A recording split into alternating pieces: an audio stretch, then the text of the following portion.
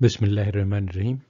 In this part B of the second, uh, third lecture on descriptive statistics and Islamic approach, we will uh, explain in detail how life expectancies are computed using a hypothetical example. So the first step to compute life expectancy, we need a mortality table.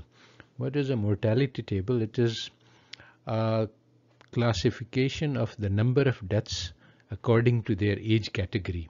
So now I'm just going to make up some numbers to show how it works. So um, suppose that in the age category of 0 to 10, there are 30 million people in the population. In the 10 to 20 category, there are 40 million. In um, 20 to 30, there are 25 million, 15 million, and 5 million. So this is a population. We are going to assume that everybody dies at beyond 50 just to simplify life. So there are five age categories 0 to 10, 10 to 20, 20 to 30, 30 to 40 and 40 to 50 and the populations inside each of these categories alive in the year 2017 at the start of 2017 are these numbers 30 million, 40 million, 25 million, 15 million and 5 million. Now we will make up some mortality numbers to go with that. So in the first group of um, 0 to 10 years old, there were 6 million deaths in 2017. You look at all the deaths and you look at the number of deaths which took place in this age category and you tabulate that. There were 10 million deaths in uh, 10 to 20 age category. There were 15 million deaths in 20 to 30 category. Uh, there were um, 10 million 30 to 40 and all 5 million of the 40 to 50 years old died. So there was a 100% mortality. So these are the numbers. Now from these numbers we get the rates, the percentages. So 20% mortality in the first age category, uh, 10 deaths out of 40 million, 10 million out of 40 is 25% mortality, 15 million out of 25 is 60% mortality, mortality um, 10 million deaths out of 15 million population is a 66 or two-thirds mortality. And finally, in the last age group, we have 100% mortality. So these, this is a mortality table. It tells you the rates of death in each age group. We use this information to calculate life expectancies as we will show in the next table. For the life expectancy calculation, we assume that there are 1000 people who were just born today at the start of the year 2017 the the year for which we have a data table for, for, for, which we have mortality table. So then we do calculations in step by step. So live at the beginning of this year we had 1000 newborns and we know that the mortality rate in this group is 20% from the mortality table. So that means that 20% uh, of them will die during this period. Um, so that's uh, 200 people who will die. Uh, now what we do, that is the key to the life expectancy calculation. We find out what was the total lifespan of all of these 200 people who died. So we don't know when they died in this group, in this age category 0 to 10. So we just assume that the average age of all of these 200 was the midpoint of this category, which is 5. so we assume that all 200 of them lived for an average of 5 years because they lived between 0 and 10, if the deaths are equally distributed over the whole period, then the average will come out to be 5. So if they all lived for 5 years and there are 200 people, then there's a total of a thousand um, thousand years that they lived between themselves. 5 years times 2000 people is 1000 person years. so that's very important number for the life expectancy. We go on from this now, because 200 people died in the 0 to 10 category, so in the 10 to 20 category, there are only 800 people that enter to this at the start of this age group.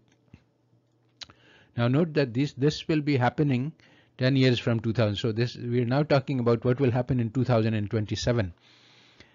And even the first 20%, this is talking about uh, what will happen between 2017 and 2000 and sorry 2017 and 2027. So the 20% mortality rate which we applied from the mortality table doesn't really apply because we don't know what will happen in the future. It's just a guess.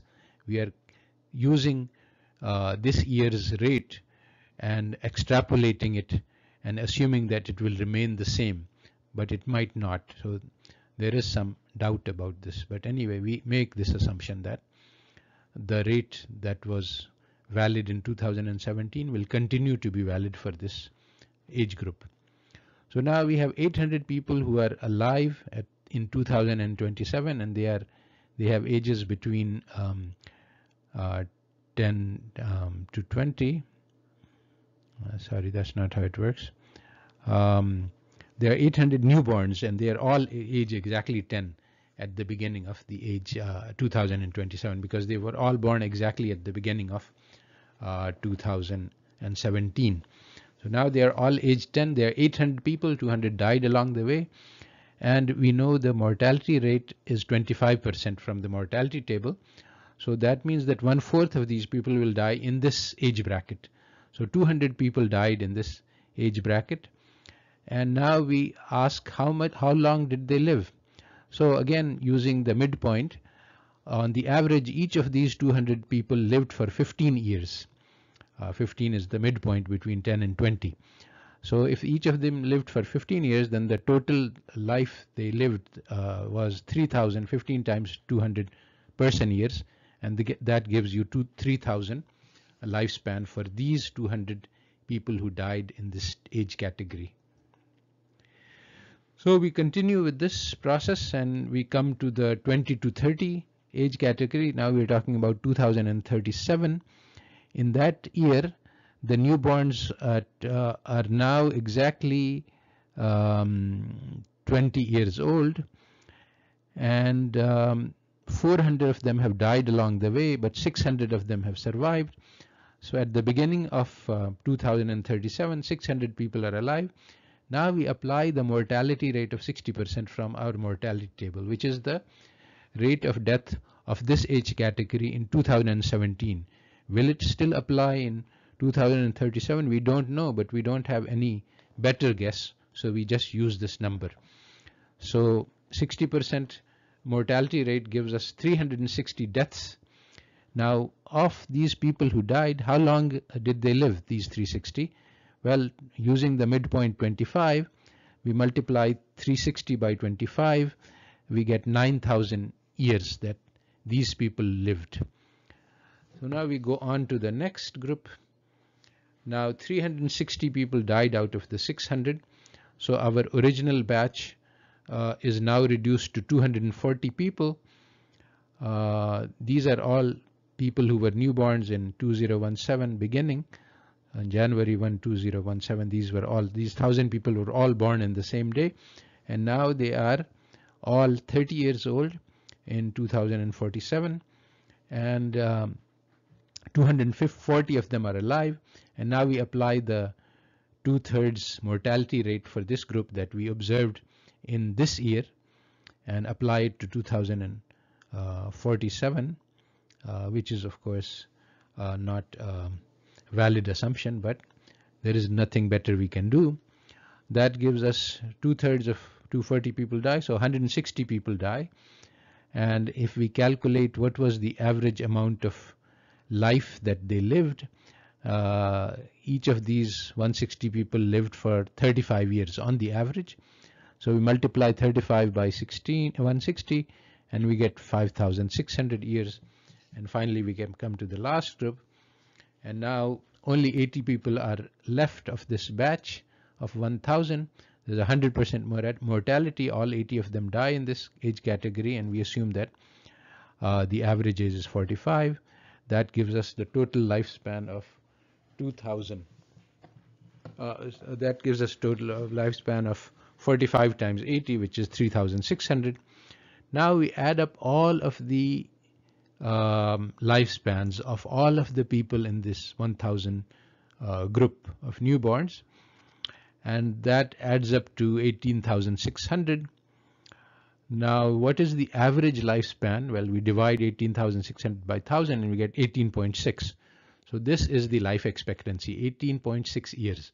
So the newborns in this um, 2000 and uh, so th this is called life expectancy at birth if the people were uh, if people are born in January 1 2017 then uh, if a thousand people are born in January 1 2017 then the average lifespan will be 18.6 years. Instead of the average lifespan we can also use the median lifespan. This is not so common but this is also sometimes called half-life in other contexts.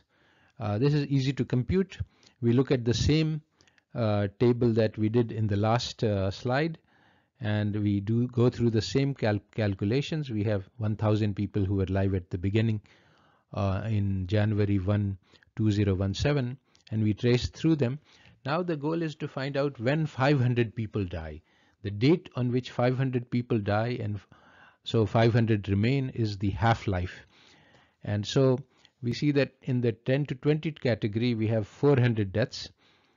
And in the next category we have 360 deaths. So that means that the 500th person will die sometime in this period between 20 to 29 and so uh, we need 100 deaths to get to reach 500 so we want to look at when the 500th person dies. And that is going to be 100 out of 360 so when will the first 100 people out of this group of 360 die? Well, we know that these 360 people are going to die between 20 and 30 years and they are going to die roughly at a uniform rate. So the first 100 will, so 360 deaths will take place in 10 years. The first 100 will take place in the proportion 100 divided by 360 and that is about uh, a little less than a third. Uh, so we multiply that by 10 to get 2.777 years. That is the, uh, uh at 2.77 years, the 100th person will die. Now, uh, there's 20 years already that has gone on. So if we add that 20, we get the median age to be 22.78 years. Note that this is substantially higher than the 18.6 life expectancy that we saw uh, for the average. So the average and the median are somewhat different. We have seen that there is a assumption that we are making that current mortality is equal to future mortality. That's uh, and and there are some things we can do to try to improve that. Uh, but that's not uh, because future is basically inherently uncertain, there is not much we can do about about uh, making accurate forecasts for uh, the future. Uh, there are many refinements that you can make to these calculations which are rough, basic, crude and simple and easy to understand. But one of the important ones that matters sometimes is that what we are assuming in these calculations that at the, the, the all deaths which are in a given period take place uh, are equally distributed throughout the ages. So to give an example, we assume that there was a 20% mortality in the category 0 to 10. So the uh, assumption on which our calculations are based are these 200 deaths which take place are uh, equally spread. In the age 0 to 1 you have 20 deaths, age 1 to 2 you have 20 and so on. Now this assumption may not be justified and in some cases you have um, more deaths in the 0 to 1 period and then very few deaths after you survive for one years and this can cause some bias. And the best solution for that is to get the age specific death rates for each year. And this is available this data is available in many situations.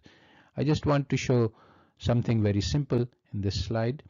And basically if we assume 20 deaths in every year then we note that the rate of uh, uh, deaths keeps going up because we have 20 deaths in 0 to 1, so only 980 survivors in the age 1 to 2.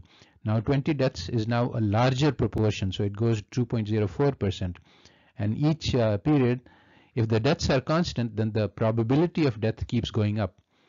So you might want to do it the other way, that is keep the rate the same and allow the number of deaths to decline as you go up.